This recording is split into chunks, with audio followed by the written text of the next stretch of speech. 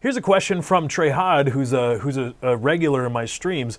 Also, uh, isn't shy about donating. Thank you uh, very much, by by the way, Trey. I, I really do appreciate your donations on my stream. Everybody's donations, not just yours. Fuck you, Trey Hod. You're not special. I'm just kidding. You very are. You're really special. I thank you very much. I know what I'm doing, Katie. Don't be making faces. Your your production. That's it. You're not editorial. Get out of here. the question from Jehad. No, no, no, no, no. Put the headphones back on. I'm just kidding. Um, the question from Jehad. Do you plan on doing both YouTube and Twitch for long, or do you think you'll switch over to one in the future?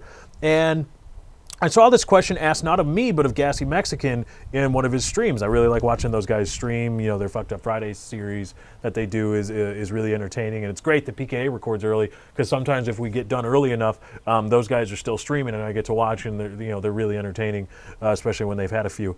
Um, he was asked about doing YouTube and Twitch, and why don't you stream more? Says, well, I'm a part-time Twitch streamer. You know, I do YouTube and Twitch at the at the same time. Um, and, I, and and his answering of that question forced me. I had my own little internal thing where I was answering it myself. So I've been thinking about it. That's the reason I told that whole story was to say I've been thinking about it. Um, I uh, I don't see a reason to quit to do only one and not the other, uh, unless for whatever reason YouTube would really crack down on that, on or Twitch otherwise in terms of uploading content to YouTube from Twitch streams. If there's a DMCA thing, um, but I don't believe there's anything like that in either of my contracts.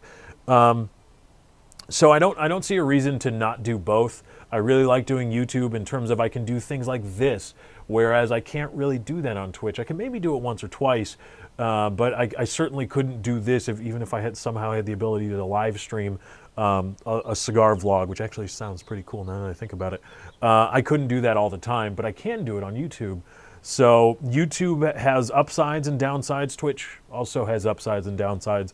And if I do both, I can um, I, I, get the upsides of both, and of course the downsides of both. But the upsides of both, I'm you know glass half full, play to win.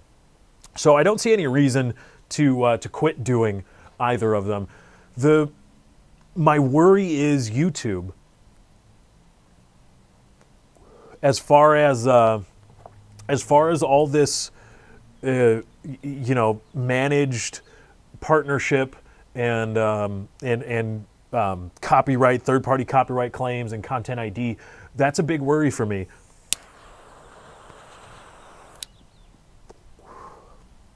And uh, you know, it's YouTube's been since it was announced at the end of 2013. YouTube's been pretty quiet on the whole you're a managed versus a, uh, an associated channel, or I forget the other word, managed and shit, whatever.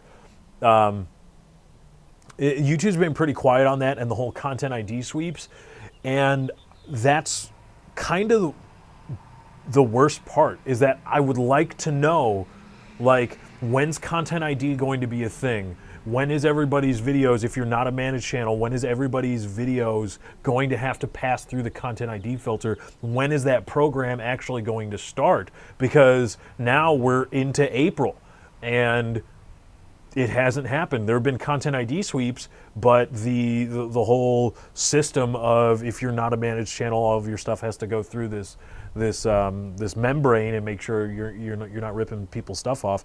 It just it was announced it was supposed to start in 2014, and we're into April and it hasn't. And I don't know. I have no idea.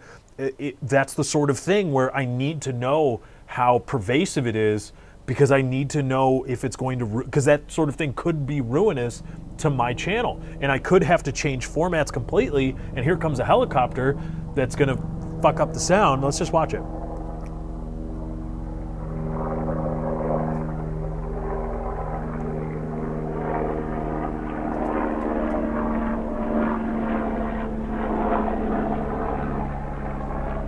God, humanity's cool. That's so cool.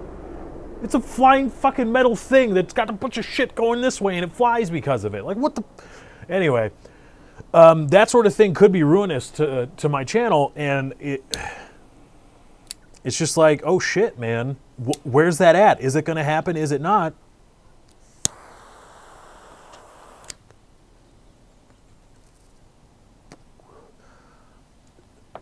because uh, because I need to know if uh, if it's going to happen, if it's and and how prevalent it's going to be, because I need to know how to arrange my YouTube channel, or if what I do is even going to be viable in that system. So that's the only reason that I would. Um, either abandon YouTube or become completely hand, completely hands off on YouTube and just upload it. If it publishes, fine. If it doesn't, okay. I'm going to put most of my eggs into the Twitch basket, and then I don't know what else there is outside of this. That would definitely force that kind of uh, that kind of planning. So Twitch and YouTube, I think, you know, why why do I have to choose. I don't think it would be wise to choose one or the other or to force myself into saying you can have one but not both.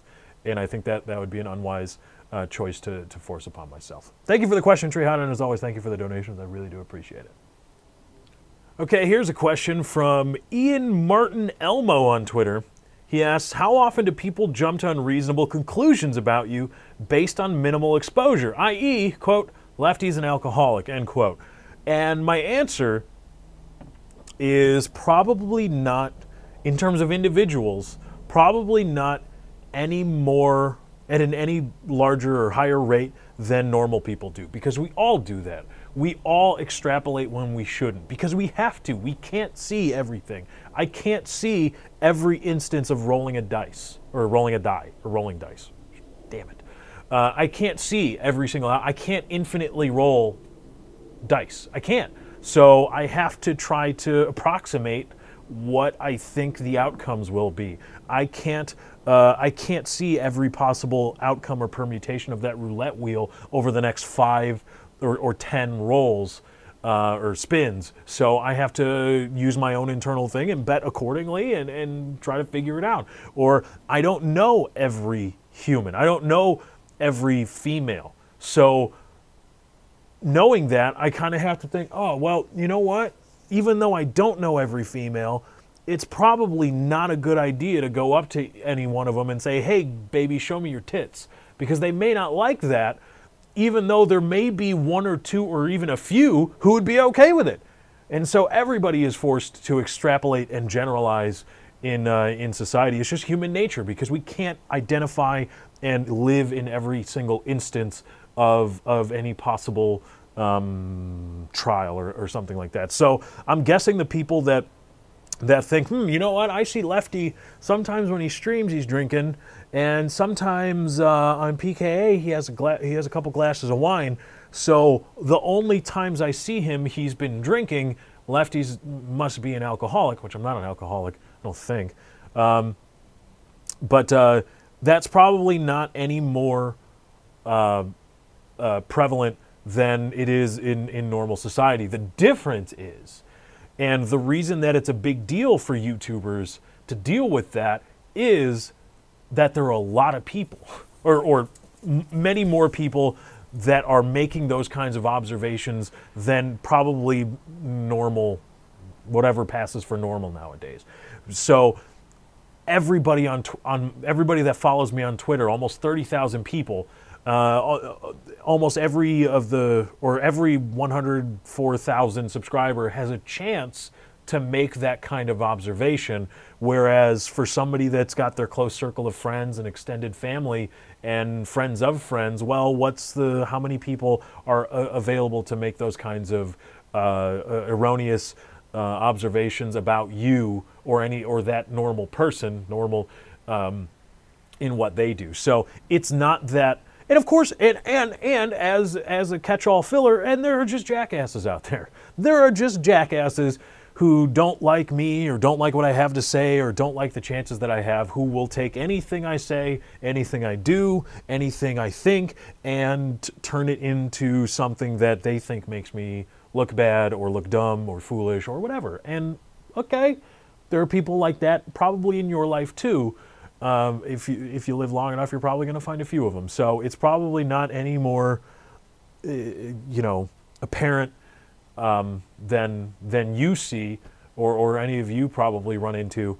But it's just that there are probably, again, I don't mean to break my own arm, but um, there are probably just a lot more people that that are available to to make those kinds of observations. So, and that's that's the thing I talk about when I say think about it when you when you see a YouTuber in a in a game, when you see a YouTuber in a Call of Duty lobby, or in a Battlefield lobby, or in a Trouble in Terrorist Town lobby, or something, or you see them, or you see a movie star on the street, right? Remember that for you, it's an individual experience. For you, knifing Woody when you see him playing Call of Duty, or knifing Wings when you see him playing Call of Duty instead of going to play the objective or whatever, for you, that's an individual experience. You're just trying to express your individual, uh, I don't know, acknowledgement of them. And it's just you. You're like, yeah, I like them. Here you go, knife, knife. There we go. But keep in mind, for them, it's a collective experience because they have experienced so many more people doing that than just your individual experience.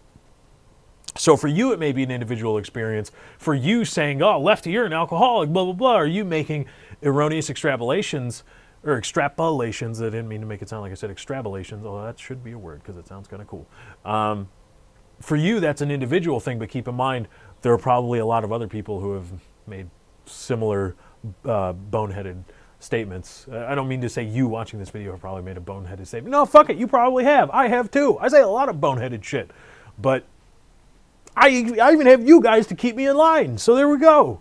So it's just a it's a it's an individual versus collective thing. That's the argument that I try to make. But thank you for that question. It's very good. It gives me a chance to expand on a, on a lot of things I say. I appreciate it. Uh, we're going to bring the Q&A session to an end there. We've been recording for a while here. This thing's almost done. Uh, again, be uh, be smart about tobacco and, and nicotine intake, and, and just be careful. Be a, if you're a grown ass man or woman, make your own decisions, uh, and and don't be hard on people that that choose yay or nay uh, in that regard. Thank you to everybody that asked questions on Twitter. To those people I answered, everybody that uh, that follows me and asks questions. Um, we're probably going to be doing more of these. Uh, I really enjoyed it. Let me know with the like button uh, if you guys enjoyed. Comment down below. Hit the subscribe button if this is your first time here, and be sure to follow me on Twitter at lefty643 or twitter.com/lefty643. Thank you guys for joining. I hope you enjoyed. I'm out. Peace.